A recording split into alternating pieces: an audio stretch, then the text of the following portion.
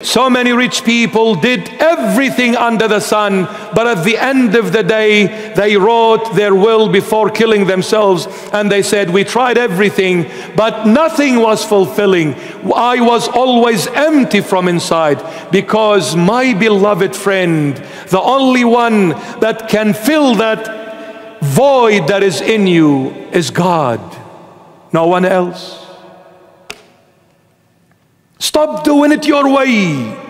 Come back and acknowledge His presence, acknowledge His existence, acknowledge His divine love that wants and awaits to engulf you with it and put you in the core of His heart. Call out to Jesus and see if He's not going to come. He will. Because He is who He is, the true God in the flesh.